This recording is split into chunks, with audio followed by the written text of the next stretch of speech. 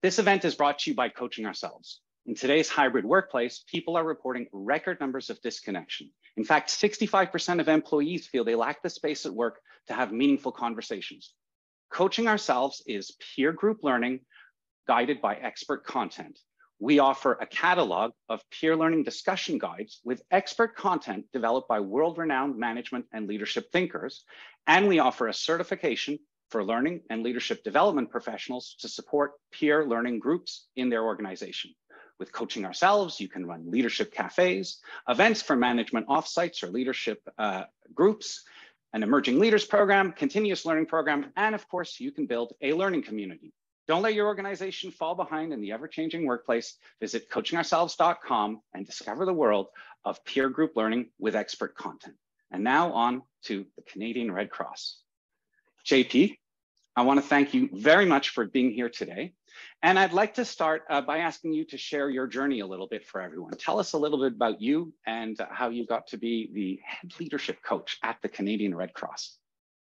Hi, Phil. Thanks for uh, having us here today. Uh, it's uh, it was a, a great alignment, let's say, of stars that brought me to uh, become the coach in, in, leadership development at the Canadian Red Cross. I've spent most of my time on my career in emergency management domestically and internationally. I was an international delegate for about 15, 16 years, and then came back to Canada in emergency management uh, when I had small kids, thinking it would be a life that foolishly maybe thinking it would be a life that would be more conducive to uh, work life balance and family. I had two small kids. Uh, that didn't turn out to be the case. And after a couple of years, I realized that I, I was really struggling with maintaining balance. Mm-hmm. So um, I'd always, when I was not in, involved in operational deployments, I'd always had a keen interest in leadership development uh, for the people that lead our emergency responses uh, on the ground in Canada and around the world, uh, and uh, grew really attracted to coaching. So when I uh, started looking at a career transition internally, and there was a desire and an appetite uh, for the Canadian Red Cross to invest more in our internal professional development with a focus on coaching and mentoring. Uh, the need met the, uh, the, the resource, let's say, and I uh, upcycled myself as a certified executive coach and that's when I, you know, I met you uh, yes. in this function, and we started working together on uh, using the coaching ourselves modules as part of our peer learning branch, let's say, of our coaching program internally. Excellent. And uh, for everybody's benefit, could you tell us a little bit about uh, the context? In other words, uh, the Canadian Red Cross and the challenges that you are facing as a leadership and learning professional in this type of organization? Well, I mean, so obviously the, the most obvious challenge that we're we've been facing has been the rapid transition into uh, virtual and hybrid work right? That came as a result of the uh, uh, the covid-19 pandemic. Fortunately we had already started transitioning toward a hybrid workplace model before the pandemic. So we didn't have as much of a lag in tech and you know all the the hardware setting up and design team design but uh, going fully virtual still came with significant challenges. Uh, and i would say that the uh, there's a few buckets let's say of challenges. One one probably and you referred to it about the disconnectedness right? It's it's not just a matter of business as usual except through zoom calls or teams meeting uh, because you miss so much uh, more of the relational aspect, right? So the transactional can get by, and we've realized that collectively that a lot of the transactional work can take place, but it's not just a matter of doing it the same way to feel the same sense of belonging. We spend so much of our days uh, interacting with colleagues at work. And when we're interacting only or primarily through a screen from our own home, uh, there's a lot of the nonverbal cues, the foundational tissue of international, uh, of organizational culture that uh, can easily get lost, right? And so even though we're connected all the time, we feel more isolated and disconnected. That's kind of the paradox, one of the paradox. And it's just not specific to the Canadian Red Cross. I mean, there's you know endless studies that show that that's across uh, vast swaths of uh, industries and marketplace. Right. And you alluded to uh, earlier that uh, the coaching ourselves uh, is one part of the learning and leadership development activities that yeah. Uh, all of you offer to internal clients at the Canadian Red Cross. Could you just give us a little bit of an idea of where it fits within the sort of context of uh, uh, activities that are offered to your internal clients? Absolutely. So uh, the uh, the coaching ourselves modules are part of our leadership development program. So they're really uh, embedded in our uh, leadership learning paths. Uh, we have two uh, at this point for entry level and middle managers, and we're working on a third tier. I've been using it as well as part of our broader coaching offer. So I do individual. we have an internal roster of coaches where we do individual coaching and leadership group and team coaching as well. So it's a, a, depending on the need, depending on the objective, and every I would say that every conversation that I have with a leader, uh, either uh, in regards to individual coaching or group coaching or team coaching, starts with what's the objective, uh, what what's the need you're trying to address, what's the challenge you're trying to overcome, and from there, we look at the, and what's the time investment that also can be done at this particular time in, in, uh, in space, right? It's a, uh, there's a, the core work of the Canadian Red Cross is emergency management and emergency response. So right, for example, right now with what, what's going on across the country with the forest fires, there's, you know, the focus is more on emergency response. But when that settles down a bit, then teams have more time to take a step back and reflect and regroup and I would say elevate the conversation above the work, not just in the work. And that's one of the core areas I would say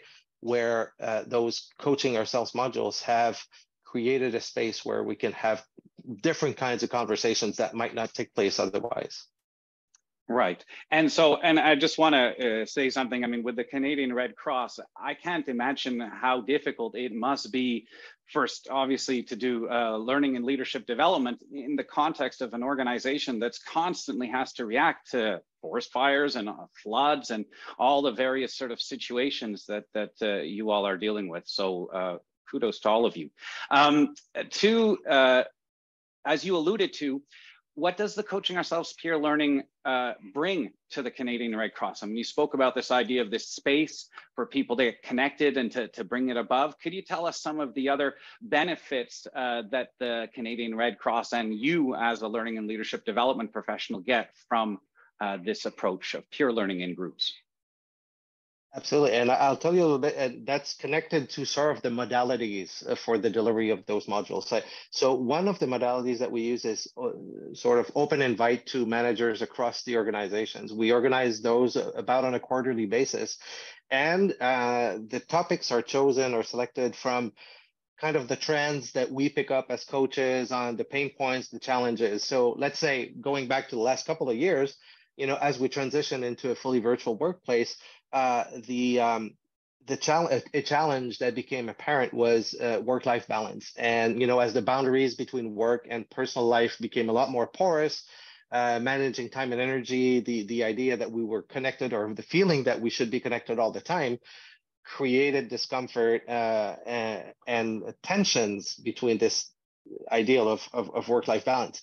But when people don't talk about that, they feel it's their problem but when you're when you get to organize a space where you can connect with people from different geographic areas from different functions different departments and you realize that when speaking to a group because we assign people randomly when we have those large events. So we've had like events where we had 60 65 people and we group them in breakout rooms of four.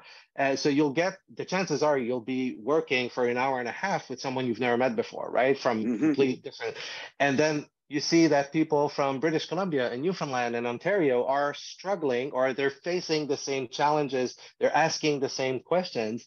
Well, it's if people across the organization, across the country are experiencing the same challenge, maybe I'm not the problem. Maybe it is the situation that's creating a challenge. So that's how it helps reframe and validates what people are going through individually. That's that's sort of the open format sessions. Uh, another one that we have are with steady teams, right? When a, a, a manager comes to me and either there's been a change or the team has expanded, we had a lot of, of growth during uh, during the pandemic, and uh, people don't connect as easily or as organically as we used to when we were physically in the same structure, right? You don't bump into people when you're going to the water cooler, uh, or it's it. You have to be more intentional in setting up meetings, and then the work is all about the transactional work. It's it's uh, and the people that are around the room are there as a as a function of their roles and responsibility as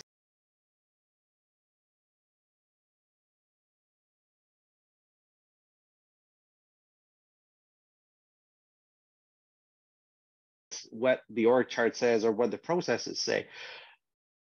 When you're creating a space to have conversation about managing time and energy, it's not about your role or my role. It's about how we carry out those roles as individuals. So it allows people from steady teams to have, again, different kinds of conversations that allow us to see each other beyond just our roles and the function in the North chart. Uh, and that is a foundational element of trust. And we all know team performance, team effectiveness builds on trust and rapport between people. So it's when you have a, a foundation of trust that you can have the difficult conversations when conflict arises and that's another module that has been very popular you know having difficult conversations and, how do we, and how do we flex that muscle it's never easy uh, to have difficult conversations. It's not easy face to face. It's it's also hard remotely because you're missing out on so much of the human connectedness element, right? From it, the two dimensional uh, interface. All right. I'm, I'm going to jump around with the questions here because I see some questions coming on on the uh, LinkedIn chat. And for anybody, obviously, if you have questions, just shoot them into the LinkedIn comments. Uh, Nanda Garber is asking, how did you get a budgetary buy-in to invest in the coaching ourselves topics, modules? Well, I mean, you look at what are the other alternatives and what's out there, right? I mean, uh, I as a as a an executive coach, a leadership coach, I'm a big fan of direct coaching, it's harder to scale up. Whereas with uh, with coaching ourselves modules, you can extend it, especially with the virtual format.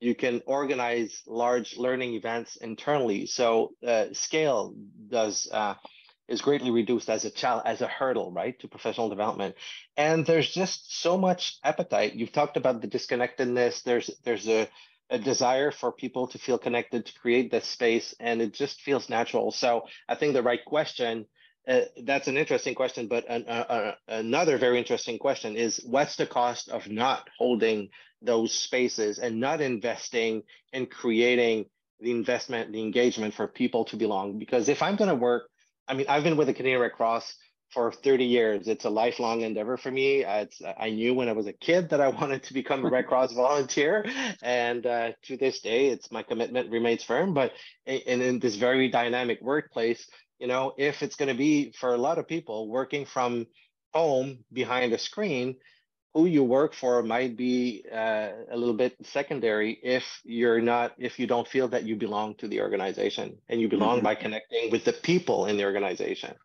in right. a way that i would say and not just connecting connecting in a meaningful way that's probably the key and so let's bring this to uh, a learning community or building a learning community. Could you sort of briefly tell us what you mean by a learning community at the Canadian Red Cross, and then we can talk a bit about how you uh, started to make that happen, this mindset of uh, being in a learning community. So early on, when I got started in, in, in my role, um, I would work with steady teams with their leaders, like individual leaders who wanted to create the space for those kinds of conversations, who were a little bit, I would say, more attuned to this need and this this uh, this uh, yeah this the importance of this investment in time and energy. And, and so we create a learning program not unlike the ones that you create yourselves you know from the curriculum mm-hmm. and looking at with the leader what are the pain points? What do you keep coming up against? What's i, I would have this sort of exploratory conversation with the leader uh, what are the important conversations that you wish you had that you're not having? And so on. And from there we'd set uh, an interval and a time and and create let's say a series of four or five guided conversations. So I would facilitate those conversations, create the space for people to talk. And what started emerging is that in a few, quite a few teams, there was one or more people in there that sort of found a bit of a calling. They really enjoyed the space. They really, so then to sustain this, I would work with them. And you've met some of those when we had mm-hmm. this uh, training of trainer session, some people are like, I'd like to do this. Uh, so we I, brought them on board and sort of shared the behind the scene, what happens, what's you know just kind of the pointers and the TOT. That's those sessions that you gave, and from that moment on, I sort of handed over the baton, and then they took the the initiative or they took the role of organizing those sessions and creating the space with you know the uh, the endorsement and the support of their leaders and in most if not all of those uh, sessions the leaders actually participate in those conversations, right? Not mm-hmm. as the boss or as the leader, but as a colleague. And again, having conversations on, you know, feed forward instead of feedback or managing your time of energy with your boss, you see them in a bit of a different light because it's not as transactional. The, the, the power dynamics are, are less present and it, it, it brings people closer. So that's kind of what's been happening with quite a few of our study teams. So now they just do their own thing and they meet quarterly or tw- uh, once uh, every two months. And they reach out and we have a conversation about what modules would speak to them at the time. They have the catalog. And uh, now i'm just sort of facilitating this Right. And, and I can share for everybody listening, one of the aspects of coaching ourselves that we've discovered, I've, we've been working with different organizations, is in some cases, it tends to be essentially an emergent strategy or an emergent deployment strategy by the learning professionals within the organization of this coaching ourselves. Uh, in other words, when we look, we've been working with uh, JP and the Red Cross for six years. And in the first year, uh, the Red Cross was using coaching ourselves for a management offsite here or there. Uh, and then after a little while, there was some appetite that was built up. And then as JP said, we, we had, uh, you know, run uh, done a certification or trained the trainer for internal HR L&D professionals to hold these spaces and facilitate, and it was more programmatic. And now we see this sort of self-directed emergent behavior in the groups as they uh, appreciate this approach. And of course, they're comfortable with essentially running their own learning sessions with uh, support from uh, JP, who can really act like a, an orchestra conductor to a certain degree, if I could put it like that. um, so in terms of making it happen, we've been uh, working with uh, uh, for about six years now. Do you have any um, uh, sessions that uh, really were appreciated by participants, uh, coaching ourselves sessions. And, and again, I've, I've looked back at the history and there's been thousands of coaching ourselves sessions run at the Red Cross over the last six years. And, and it's really phenomenal to see the diversity and the breadth of usage within the organization as it spreads. Anyone's yeah. come out that you could mention to folks that could help with uh, with anything really? Well, I mean, the first one, and I'll totally acknowledge my personal bias there that comes up to mind is is emotional intelligence, right? Because this is so out of the transactional realm of the day-to-day work, but I think it's important because we are I believe firmly in uh, awareness of self and others and understanding the connection uh, between emotions and, and how we show up at work. So, again, having a space to equip people with the vocabulary uh, uh to, to have those conversations makes it easier after. So, I see that as an investment, right? When, when you've developed the, the, the, um, the conceptual framework for acknowledging the importance of, of emotional intelligence, how whether it's knowingly or unknowingly, how it affects how we engage with each other. Uh, and if it's not properly managed, it creates additional barriers to efficiency and team performance. Uh, so I like, I, I think that's always important because I think we go under the waterline into what's really meaningful. We're talking about values and whatnot. Um, one that there's been a lot of appetite for, uh, especially again with this uh, the, the, the transition to to uh, virtual and hybrid workplace is uh, managing time and energy. Uh, again, I, have mentioned the the the the the the, the, the boundaries between work and and life become having become more porous uh, mm-hmm. and those are those are things that kind of just happen implicitly right no one said now you're going to be online you know 24 7 and you're expected but when you're at home and you're in lockdown and it just kind of becomes naturally to look at your phone and see if there's emails and when you it, it kind of creates a snowball and before you know it you're caught into something without ever having really explicitly decided that this is where we're going to go and it just kind of is and when until that tension becomes uh, until people empty their pockets and put it out there and say hey this i feel there's something wrong and you're you're connecting with other people who're saying yeah there's there might be other ways to organize work right? So that's i see a lot especially in the team coaching work that i do as an outcome or as a follow-up actions to those conversations. Let's have a conversation. How do we make those implicit agreements explicit? How do we agree mm-hmm. to a team playbook or a team charter as to what are the means of communication? What are the channels that we use? So right they're kind of so the, a lot of those modules as far as i my sphere of, of of influence and awareness goes they're really starting points for a bit of a shift in how we work.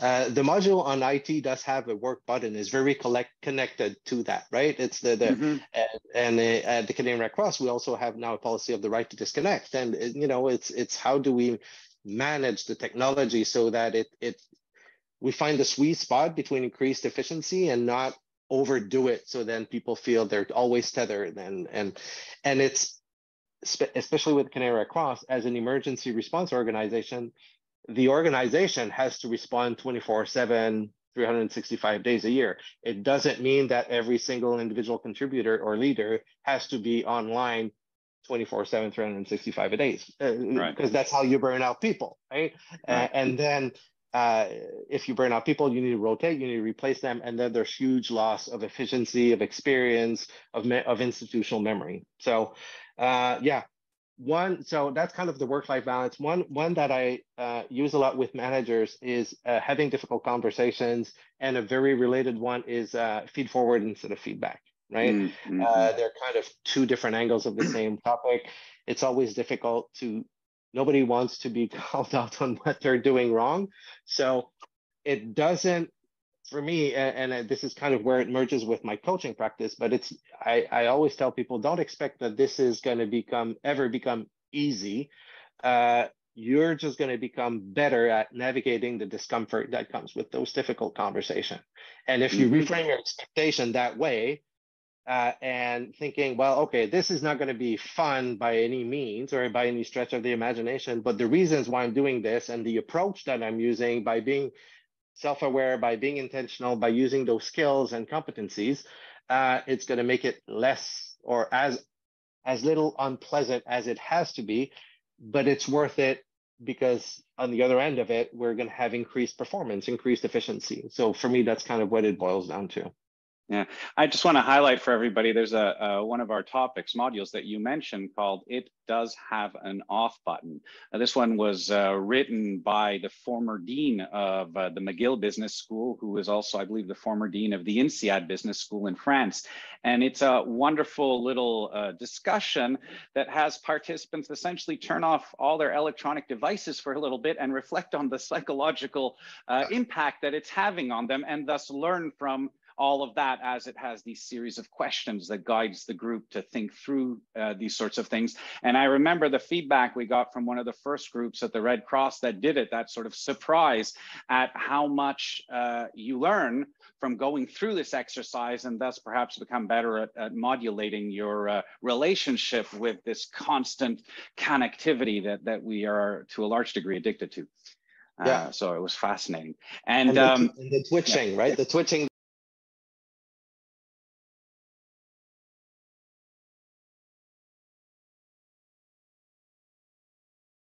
that comes when you're turning up all your notifications, the fear of missing out, or every, is everything going to crash around me? And you realize, wait, no, nothing's going to happen. Uh, and they're they're very rare roles that demand always connectedness, right? Or if yeah. if it is, then maybe you want to revisit how your job is built and get more support because that's not sustainable not at all. So we have this wonderful sort of dynamic that's evolved through the, the, the initial usage of coaching ourselves and that you have a learning community, you have people at the Red Cross that are going out, reaching out and taking their own time to participate in essentially self-directed peer group learning with this sort of support from you and others at the, uh, uh at the, uh, uh, from, from above and around.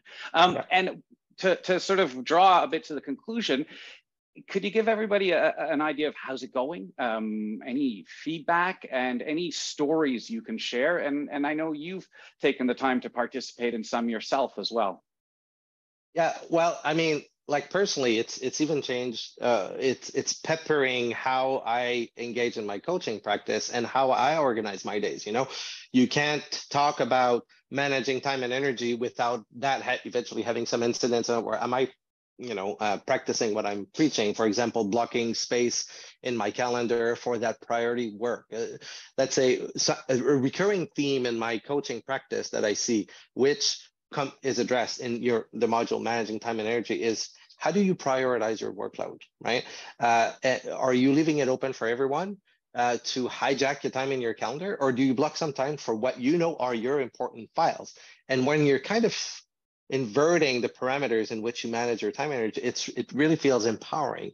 And i've had a lot of people come back to me and saying wow now i can really focus or i'm as I'm learning and as I'm becoming better to focus on the vital few rather than just like everyone else's problems that I'm being brought into, I'm much more effective at delivering on what I'm expected to deliver on, right? And it it, it brings job more job satisfaction, it brings more empowerment, it brings a sense of control uh, to some degree. Uh, and I'm I'm feeling it as well as I'm, you know, just blocking these times in my calendar for the mm-hmm. deep focus work that I need to do.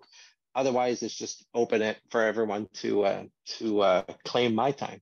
So I would say that's a story I talked to you about people who feel a bit of a calling, right, As of those mm-hmm. modules. There's one, yeah. thinking of a group in particular where she's just running along and now and and I think yeah, now they're looking more into coaching and that kind of work, uh, a bit as a uh, an accident, you know, uh, in the journey. And uh, yeah, it, it, it's great to see that, and it prompts other conversations. So that's yeah, all in all, great great tool to start conversations that you wouldn't have normally, and to build that muscle memory, right? Of of having conversation, not just in the work and the transactional t- stuff, but to elevate above the work. Right. I'm going to ask a question that we always get asked as learning and leadership development professionals, not just us as vendors of these tools. Uh, and this is from Natalie, one of our colleagues here. She's asking, she'd love to understand how you measure your ROI return on investment. And this yeah. is the Canadian Red Cross. So you're not a for-profit yeah. organization, but you certainly yeah. have to judge, you know, the value of the, the dollars you're spending on these sorts of things. Yeah. Well, there's there's no shortage of tools, right? And I and I would say I don't want to cup out, but it's the more sophisticated the results you want to have, the more sophisticated the systems that you need to to put in place, right? Uh, mm-hmm. it's it's it's constantly evolving. Uh, so right now it's it's very much at level one and two uh, in terms of feedback satisfaction of feedback. We as far as you know the work that i've been doing carrying out i haven't had the opportunity to put in place over a, a long enough period of time to isolate the variable of the coaching precisely to yeah. say this has led to a return or an ROI of 6.5% or 8%. But you know, the best practices industry shows that the ROI is there across different industries, different organizations. Uh, so yeah, I would say that's that's still a work in progress, but definitely we're moving the needle on that. Absolutely. And for everyone who's listening, we have uh, a number of clients in Japan who do very sophisticated return on investment measurement with coaching ourselves peer learning. It takes time and it takes a, a, fair amount of data to do statistically significant proof of causality with these sorts of interventions. That said, uh, you most many clients will see differences in engagement scores. Certainly, you see the fact that people come and want to participate in these activities on their own because they use their own judgment to decide that this is helping helping them do their job better, faster, more efficiently, and certainly making them feel more engaged and at home in their work as these relationships grow. I've got one minute left here. I just want to ask quickly the future. What do you see as the future with uh, coaching ourselves at the Canadian Red Cross? Any thoughts on where it might go as it continues to emerge and evolve? Well, I, I, think now we're we're beyond we're beyond the innovators and we're at the tipping point of the early adopters and mainstreaming it, right? You get mm-hmm. a critical mass at which point then the demand becomes self-sustaining. And now people are reaching out to me because they've heard of it, uh, not because I've reached out and they, they've seen it. So they it's it's this yeah the snowball effect so i see more and more people coming online more and more leaders reaching out for the coaching, for the coaching ourselves module, uh, more and more people interested in finding out how they can become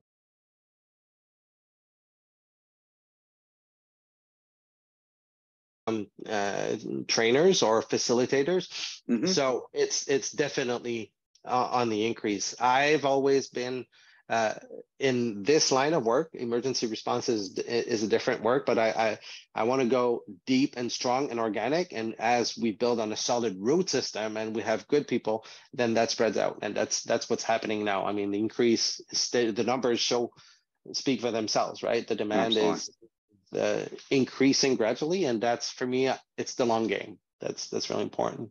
So, well, I look very much forward to continuing to work with you and us brainstorming and thinking about how this can be applied to meet the ever changing needs of the organization. And of course, anything we can do to help the Canadian Red Cross get better will be good for all Canadians and uh, I, we all very much support all the work you are doing. It's incredible. Um, so I want to thank Jean-Pierre very much. Thank you very much for coming today, JP, and taking your time. I want to thank everybody for taking the time to come and listen uh, to the story of uh, CoachingOurselves at the Canadian Red Cross and building a learning community. And I just want to remind everybody to get started with CoachingOurselves, it's very simple. We offer a certification program for your learning and leadership development professionals to get started. And we have a catalog of almost 100 peer learning discussion guides that they can then use to run peer learning groups for all sorts of uh, different needs and in all sorts of different ways. Thank you, JP. Thank you, everybody.